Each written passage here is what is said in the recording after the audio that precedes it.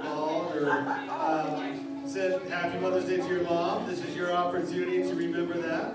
After the service, right? We're being on your phones right now. But again, Happy Mother's Day to everybody. We're so thankful that you're here with us today.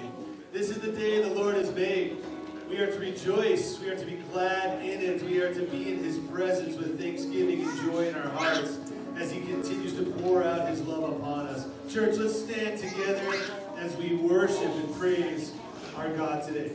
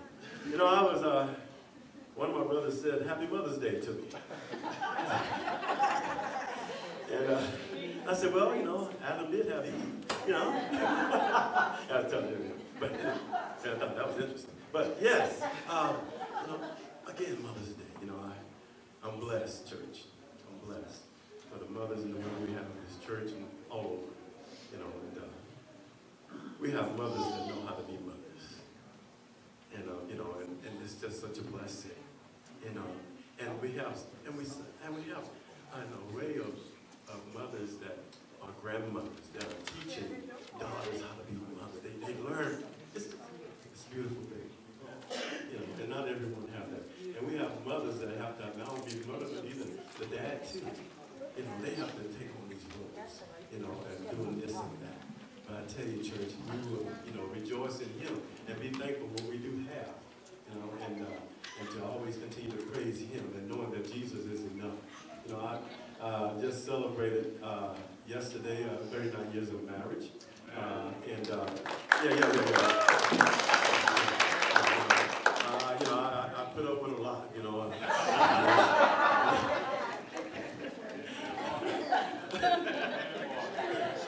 I'm able to say that because I have a little distance, you know, too. Because we, we have some sharp elbows, you know. And, I know how they feel. But I'm blessed, you know, and I, uh, again, you know, uh, it's a beautiful thing to know that Jesus is enough. Knowing that he's able to get us through. You know, and uh, being married for 39 years, and it was some rocky times, and it was because of me. But I know that God is a God of second chances, and I'm blessed to be married to my first love, you know, for 39 years. You know, it was such a beautiful thing. I know a lot of you men can say the same thing, but I got the mic. you know, I just I praise God for each and every one of you, and I love each and every one of you. We love you, and uh, thank God for what He's doing in this church. And the preached word this morning about the gift of the Holy Spirit, the fruit of the Holy Spirit, not the fruit, but the fruit. Oh, you'll be blessed, church, by the word again today. You know, when I was able to understand a little bit more better as I matured in the Lord. You know, I just, you know, I felt like not only that I was sealed, but I was filled because I was able to uh, exhibit some of the fruit of the Holy Spirit. I'm thinking, wow, we're so blessed to have the word being preached in season, out of season. You'll be blessed, church, and you will not be the same after hearing the word today on this Mother's Day. Hallelujah. Have your way, Holy Spirit. Have your way. With us. We pray that we do not agree with what you today, that you'll have your way, that we'll get up and get out of the way. We feel your presence in this place. We know you're here. Even if we don't feel it, we know that you are here. Have your way. In Jesus' name we pray. Amen.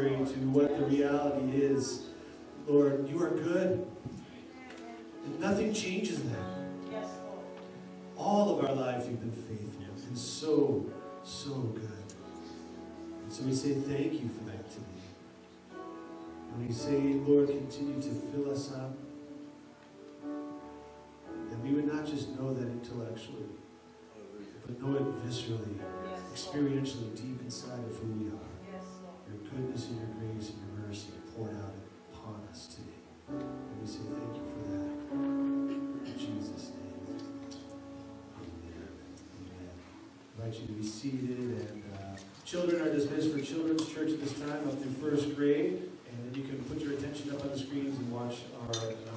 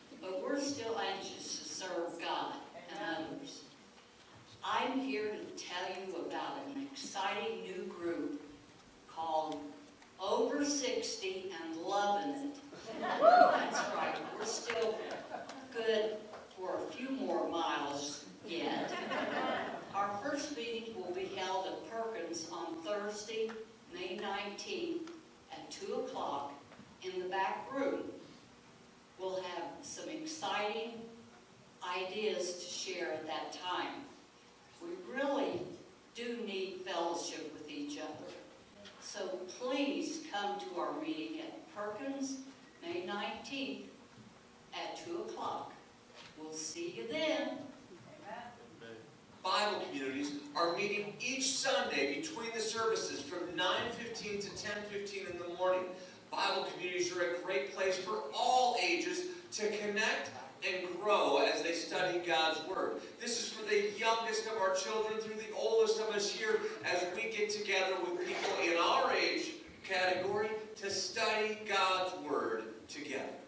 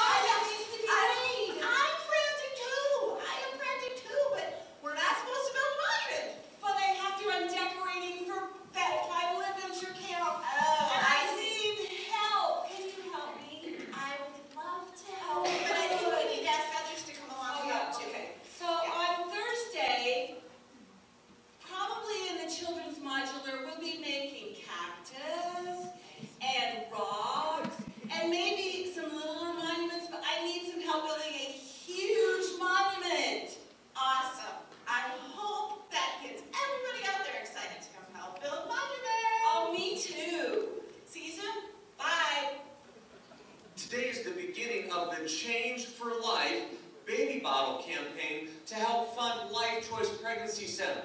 Out in the foyer, you'll find a table full of baby bottles, and from now until Father's Day in June, we invite you to take a baby bottle, or two, or three, fill them up with change, cash, a check, whatever it is that you have that you want to put in there, and bring them back by Father's Day so that we can support Life Choice Pregnancy Center through this.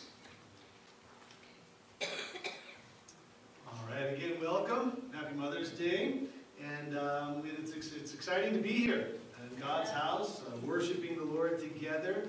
Uh, just a couple other things by way of announcement. Back on the table, by the computer back there, and then also downstairs if you're in the upper room. At the table as you come in through the doors, you're going to see a variety of things. There's some cards with information, prayer cards you can fill out, put in the offering boxes, and um, you'll be prayed for over the coming week. Also, you, you can put your offerings in those offering boxes. We also have the online option through PushPay. Many of you do that as well, but a lot of different ways to give. And uh, all of that is contained on that back table or downstairs if you're watching in the upper room and the table as you come through those doors.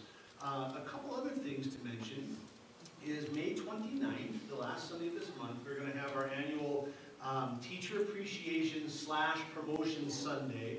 And it's during the Bible community time, so there will not be Bible community classes, but we'll all gather together, celebrate all that God has done through our Bible communities over this last year, appreciating all of our teachers, uh, promoting our students to the next grade level. Uh, you can bring an egg dish to share with everybody, some other things be provided, and we'll gather together and, and just celebrate all that the Lord has done through our Bible communities over this last year. Uh, Pastor Siebert mentioned on the video announcements, out on the table in the welcome area are the baby bottles. Again, we do this every year. You just take one, you fill it up with change or, or, dollar bills or even just a check uh, made out to Life Choice Pregnancy Center. You bring that back by Father's Day, and then all of those proceeds go to support the work of Life Choice Pregnancy Center. Two last things. Uh, this Saturday at 9.30, down in the upper room, we'll have our tea and testimony for the ladies. And so invite um, ladies to come and be a part of that this coming Saturday, 9.30 um, a.m.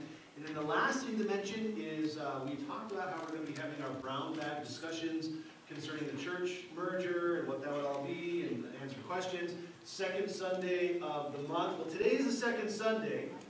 And my wife astutely reminded me that if I scheduled a meeting after church on Mother's Day, I don't have to worry about merging anything. I'd be probably done away with. So we are actually moving that to next Sunday. And uh, so next Sunday after the second service, uh, we'll be having another brown bag discussion to just uh, give further updates on where things are at, allow people to ask questions, and answer to the best of our ability at this point in time. And again, just be praying. Be, be praying, be praying, be praying as we're considering what the Lord is doing here regarding um, merging two churches together. And uh, so come prepared for those that would like to stay after uh, the second service next Sunday uh, for some further information. At this time, I'd like to invite our missions director, uh, Marlon Casey, to come up and worship today. You know, no matter what it is that we're going through, we go through it in the name of Jesus. We belong to Jesus. And the name of Jesus is the name above all names. There is power in the name of Jesus. We can speak the name of Jesus, and the enemy has to flee. There's hope and peace and grace and mercy and love. And I can remember times, you know, um, speaking of Mother's Day, when um, our children were younger, and maybe they woke up she would rock them, and she would just speak the name of Jesus over them. And she'd even sing that song, Jesus, Jesus, my Jesus, there's just something about that name. And you've heard it. Master, Savior, my Jesus, all of heaven and earth proclaim. Kings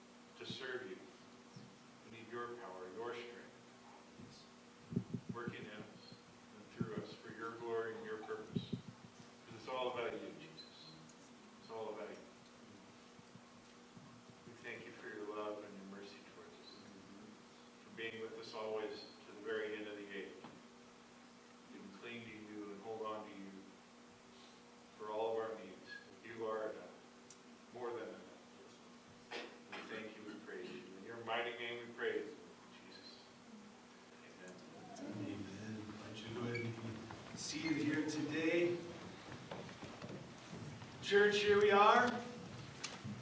Springtime in Wyoming. And one of the things that I've determined after living in Wyoming now for over a decade is that we really don't have spring. We tend to go from winter to summer. There's a couple of days in between, maybe. But we really don't have a springtime. We seem to just sort of skip over that. Oh, we get glimpses of nice weather every now and again. But then we're met with snow the next day let's not even begin to discuss the wind. you know, every year it's the same thing. We get a few nice days of some nice sunny weather, some heat, and, and all the bulbs and the flowers and the trees in my yard, they enjoy it. They begin to show a little bit of life begin to, to come back to life after a long, hard winter by, by greening up just a little bit. Again, showing some flowers, showing some bulbs, showing some maybe some leaves. Inevitably, it happens. The snow comes, the cold comes, and all that was showing life just sort of withers away and dies. However, even though the early life tends to go away, they always seem to come back, and fruit happens. You know, even though the daffodils in my backyard made their annual one-week appearance a few weeks ago, before getting destroyed by the cold, I know they're going to come back next year. Every year I enjoy watching people get out and get into their yards and their gardens. Julie and I like to get out, start getting things ready, putting in all the work to produce something in a pretty harsh environment for growing things. And we do it with the expectation that fruit is going to happen. And this is in spite of the fact that, that keeping a garden is a lot of hard work. And for those who do not garden, you may be wondering, why in the world do you go through all that work maintaining a garden? Well, we do it because we know that fruit is going to happen. We know that if we put in the hard work, we will get to enjoy some produce or, or some aesthetic beauty from all of that work. You know, fruit happens. That is a true statement, even when things like our annual hailstorms that inevitably come and destroy some part of town. People's hard work is not in vain because even at that, some plants tend to come back. Life happens and fruit happens. And the fact that fruit happens is true both in the physical world and in the spiritual world. This, I know that I've, I've shared this before in a variety of contexts, but the reason why I share it so often is because it really is one of my favorite all-time bumper stickers. When I was at Denver Seminary, there was a student, he had on his car a little bumper sticker. It was just a gray rectangle with some white block letters that just said, fruit happens. I love that bumper sticker. Probably three quarters, if not more, of Denver had no idea what that meant. Fruit happens. It always happens. It's a non-negotiable aspect to living your life. You will bear fruit of some kind. This morning, as we continue our series through the book of Galatians, I, I want you to know that all spiritual life flows from the Holy Spirit and that fruit happens. If you remember from last week, we talked about how when you receive Jesus as Savior, you have been set free. And now you are to live that freedom out. And this is something that every single child of God needs to be about. When we embrace Jesus as Savior, we are now a born again Christian. You are filled with the Holy Spirit and God's desire for you as one of His children is that you will live a spirit led life that results in true freedom. And as we do this and we begin to live a spirit led life, we are going to see evidences of the Holy Spirit in our lives. And I want to focus on that today by looking at Galatians chapter 5, verses 16 through 26. This is picking up where we left off last week. We're in Galatians chapter 5, beginning in verse 16. I invite you to just turn there with me and follow along as I read uh, verses 16 through 26 today. Galatians chapter 5, beginning in verse 16. But I say, walk by the Spirit, and you will not gratify the desires of the flesh. For the desires of the flesh are against the Spirit, and the desires of the Spirit are against the flesh. For these are opposed to each other to keep you from doing the things you want to do. But if you are led by the Spirit, you are not under the law. Now the works of the flesh are evident. Sexual immorality, impurity, sensuality, idolatry, sorcery, enmity, strife, jealousy, fits of anger, rivalries, dissensions, divisions, envy, drunkenness, orgies, and things like these. I warn you, as I warned you before, that those who do such things will not inherit the kingdom of God. But the fruit of the Spirit love, joy, peace, patience, kindness, goodness, faithfulness, gentleness, self-control. Against such things there is no law. And those who belong to Christ Jesus have crucified the flesh with its passions and desires. If we live by the Spirit, let us also keep in step with the Spirit.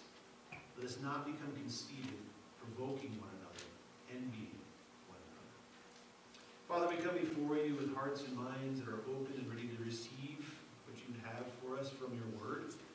I pray, Holy Spirit, you work it deep into our hearts and minds, that we would be different leaving this place than as we walked in. And how can we not with being under the authority of your powerful word? And so, Lord, we say thank you in advance to all you're going to show us today. In Jesus' name, amen. Now we see right away in our passage, what Paul is doing is he's contrasting two things. He's laying two things against one another and contrasting them. The acts of the sinful nature, and the fruit of the Spirit. And as you consider this, it really comes down to what is your source? As you're looking at these two things, what is your source? You know, I saw in the news just the other day that Cheyenne Board of Public Utilities, they issued a statement saying that their water system passed its annual testing, indicating that our water exceeds the required standards for a municipal water system. I can can tell you that's good news. If it were the other way around and the groundwater we were drawing our water from was filled with, let's say, some kind of cancer-causing chemicals, then I would submit you would not want to drink water from that source. If you want to find out about a body of water, you can trace it back to its source and you can find out an awful lot about that water. You know, I remember when I was a kid, one of my um, cousin's family, they lived in a house and they used a well for all of their water in their house. And it was sulfur water. That was the most wretched smelling water I had ever been around. They'd turn on the tap and the whole house just stunk horribly. They had to have water delivered to their house so that they could have usable water for things. If water comes from a good source, it's going to be good. But if water comes from a bad source, then it's going to be bad. And the same thing is true for fruit that people bear in their lives. If you are looking at some bad fruits in your life, you can bet that it's coming from a bad source. Paul says the acts of the sinful nature are obvious, and he lists them off. And all of these things that he lists sexual immorality, impurity, sensuality, idolatry, sorcery, enmity, strife, jealousy, fits of anger, rivalries, dissensions, divisions, envy, drunkenness, orgies, and things like these. All of these things that he lists off, their source is from the sinful nature. You see, the acts of the sinful nature find their source in the sinful nature. That's where it's coming from. That's why they're sinful acts. Or some would say it's coming from the flesh, emanating from the flesh. You must understand fully that without the transforming work of the Holy Spirit in a person's life, the works of the flesh, the works of the sinful nature are the things to which fallen humans will always instinctively gravitate to. It's their source. The acts of the sinful nature find their source in the flesh. In other words, the natural makeup of each and every person. Last Sunday, it was announced that both the Creasel family and Julie and I had new grandbabies born. What a blessing! How awesome is that? And then we were joking around in the Bible community class last week about how sweet and, and precious and cute and sinful they are. What? Why would you say that? Well, I haven't told Ingrid and Jay this yet, but it's true. It's true. I can remember when holding my children, they were brand new babies, and looking at them and thinking about how wonderful and innocent and perfect and sinful they were. And now I just smile when I see new parents going on about how perfect their child is, and they are perfectly sinful. As is each and every person when left to themselves. It's human nature. That's who we are in our makeup, every single person. And as you read through this list of the sinful acts, I hope you understand this is absolutely true. When we allow our thoughts, our attitudes, our actions to flow from the source of our fallen sinful nature, then this is what our life is going to exhibit. Now, it may not be that you're out practicing witchcraft or engaging in orgies, but you better believe selfish ambition, jealousy, discord will be there. Have you ever been jealous over someone or something? Have you ever not gotten along with somebody else? Well, these are obvious acts of the sinful nature manifesting themselves in your life. You are bearing rotten fruit because it's emanating from the source of your flesh. Now, contrast that with the fruit of the Spirit. In order to bear this kind of fruit, our thoughts, our attitudes, and our actions, they need to come from a different source. Understand then that the fruit of the Spirit finds its source in the Holy Spirit. That's the source from which it emanates. Now, we have talked about this before on a number of occasions. When you are remade in Christ, in other words, you are saved, you have the Holy Spirit. Listen to Romans 8 9. It's a verse of scripture we've referenced very often. You, however, are controlled not by the sinful nature, but by the Spirit, if the Spirit of God lives in you. And if anyone does not have the Spirit of Christ, he does not belong to Christ. If you are truly a child of God, you have the Holy Spirit in you. That's the mark of authenticity. When you are a true believer, a born again person in Jesus Christ, your thoughts, your attitudes, your actions, they come from a different source. And because they come from a different source, they will be spiritual fruits. And this is true freedom. We talked about this last week. This is what sets us free. Fruit happens. And when you are a believer in Christ, it will be spiritual fruit that lasts. Every moment of every day, we have to put the flesh to death. We need to crucify the flesh and yield our life to the Holy Spirit who lives within us so that we will live a spirit-led life and bear fruit that is pleasing to God. This is living a life of true freedom, church. This is where it's at. This is what Jesus set us free to do. It's for freedom we've been set free, we looked at last week. Bear fruit that lasts and honor the Lord in every single aspect of your life. So with that said, I want to take a few moments and discuss the fruit that we are to bear as Christians. And the main thing that I want to emphasize this morning is that we bear fruit, not fruits. We bear fruit, not fruits. It's important to note that we are to produce the fruit of the Spirit, not the fruits of the Spirit. In other words, we are not to pick and choose which aspect we would like to focus on and then disregard the rest. If that were the case, then we could simply produce that which comes easier to us while disregarding the harder ones to do. For example, someone might be more self-controlled than somebody else. I'm sure we all have known some impulsive people for whom self-control is a hard thing. Perhaps they're simply more emotional than others and they allow their feelings to dictate their actions and their mindset. Because of this, they may lash out. They may say things that if they had a little more self-control, they could filter their words before they flew out of their mouths. However, they may be a very joyful and loving person. You know, very often those things actually go hand in hand. People that are very gregarious and loving and joyful and just prone to that emotion also have a hard time with self-control because they're driven by their emotions and their feelings. But then someone else, on the other hand, they may have a great amount of self-control, but not much love for hard-to-love people. You see, if each one of these were individual fruits, then we would be able to focus on that which was just a little easier for us and still feel pretty good about who we are.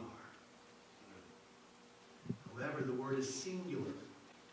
We are to produce the fruit of the Spirit which consists of all that is listed. Perhaps the best way to think about this is to think of a bunch of grapes as opposed to a piece of individual. Grapes, they come in bunches or clusters, right? You have one bunch with a number of grapes on it. This is how it is with the fruit of the spirits. When you are a spirit-filled believer living a spirit-led life, you will produce a cluster of fruits which contains all that is listed in our passage. So if you were to look closely, you would see that the cluster that is emanating from each born-again believer, it consists of love, joy, peace, patience, kindness, goodness, faithfulness, gentleness, self-control. The bottom line is we cannot focus on one aspect of spiritual fruit while disregarding all the rest. You must be a fruit inspector, if you would, who regularly inspects your own life for fruit. And, and what you want to notice is a cluster that contains all of the aspects listed in today's passage. And if you notice that there are some elements or some, some fruit that, that are rotten or maybe even missing, or you notice perhaps an obvious act of the sinful nature rearing its ugly head, well, then it's time to prayerfully ask the Holy Spirit to do some pruning, to do some fertilizing in those areas of your life. Church, don't try to do it in your own strength. You will fail. If you notice something coming into your life that is not honoring to God, and you got to analyze it, intellectually think it out, come up with a plan, and roll up your sleeves and get at it, you will fail. This is all a work of the Holy Spirit. All spiritual life flows from the Holy Spirit. And this takes us back then to the whole discussion of where's your source? Paul calls them acts of the sinful nature and fruit of the Spirit for a reason. You see, left to ourselves, we will produce bad fruits. However, when we allow the Holy Spirit to get to work, yielding our life to Him, we will bear good fruit because all spiritual fruit flows from the Holy Spirit. All spiritual life flows from the Holy Spirit. This is not fruit of the self disciplined person, this is not fruit of the gifted and talented. It's fruit of the spirits. You have to understand that the fruit which is listed is not a natural byproduct of human nature or of good people. It is the spontaneous work of the Holy Spirit in us. The Spirit produces these character traits that are found in the very nature of Jesus himself. They are byproducts of Christ's control. We cannot obtain them by trying to get them without the Holy Spirit. If we want the fruit of the Spirit to grow in us, we must join our lives in His.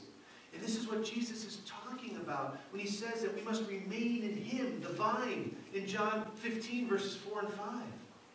We must know Christ, love Christ, remember Christ, and allow Christ to work through us so that we look more and more like Christ. And as a result, we will fulfill the intended purpose of the law, which, as we mentioned last week, is to love God and love our neighbors. This is the consistent message of Scripture.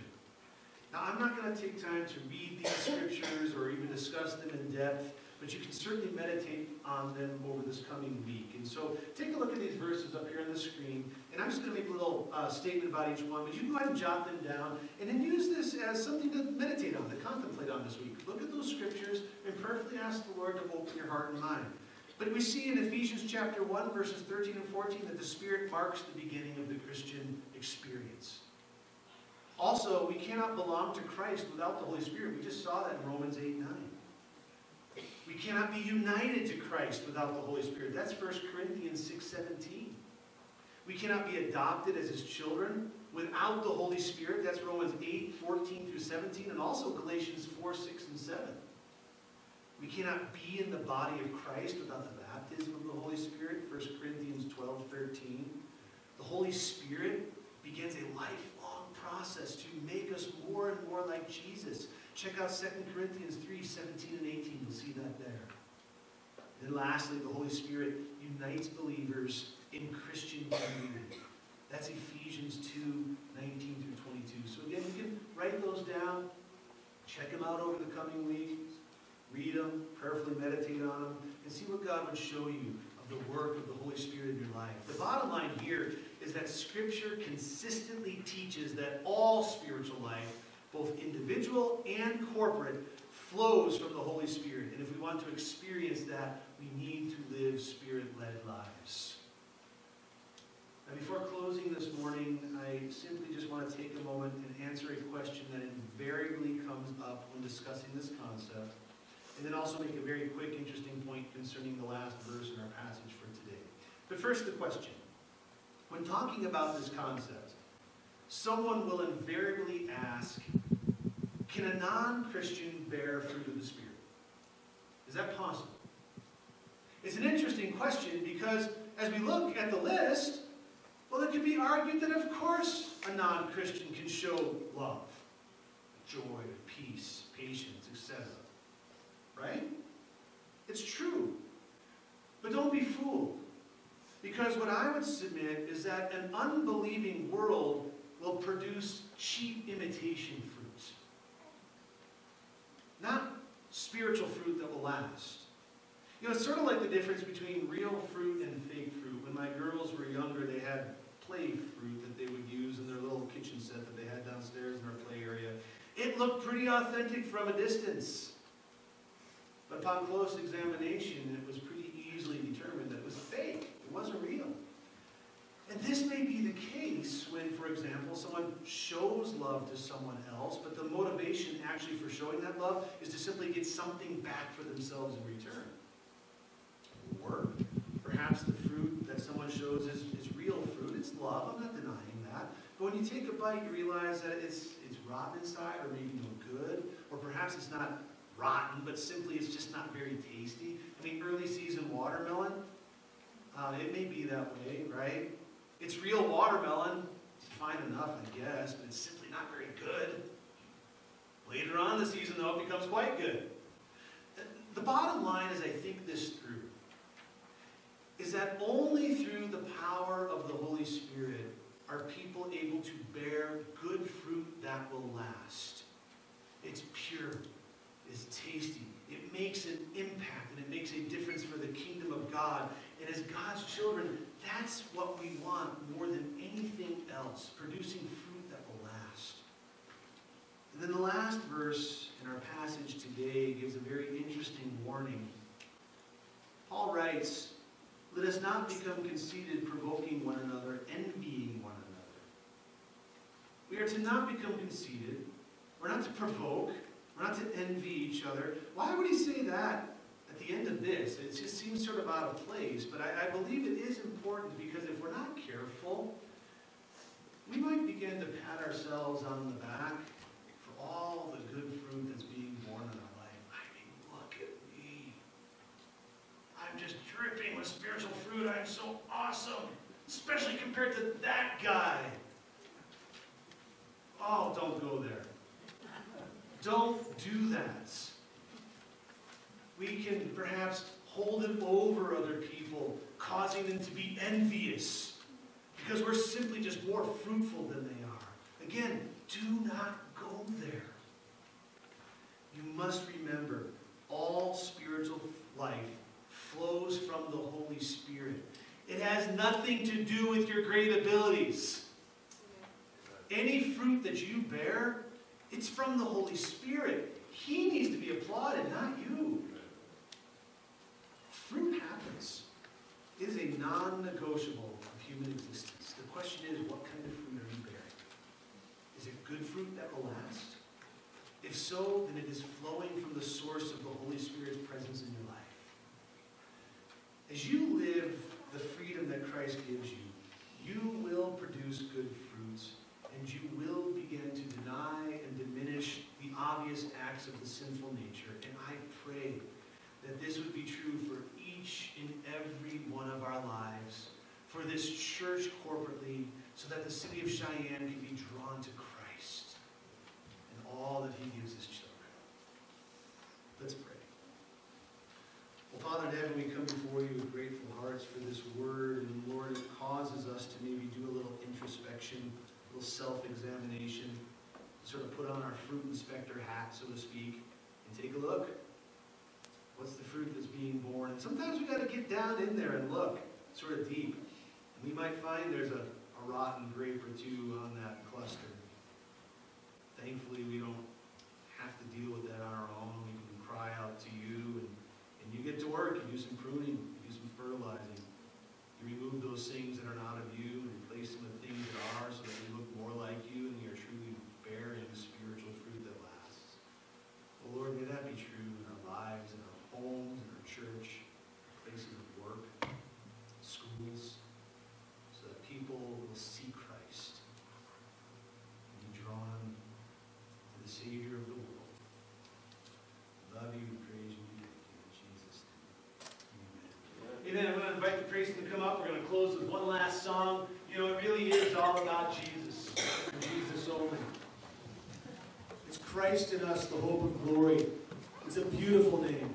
It's a wonderful name. It's a powerful name. And when we belong to God through the name of Jesus, we will bear spiritual fruit. Let's stand together, church, and close with one last song.